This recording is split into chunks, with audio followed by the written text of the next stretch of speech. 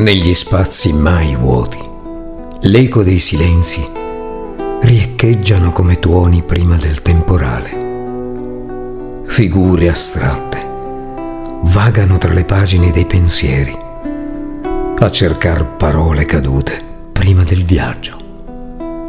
Poi il silenzio e quel dannato desiderio di sentir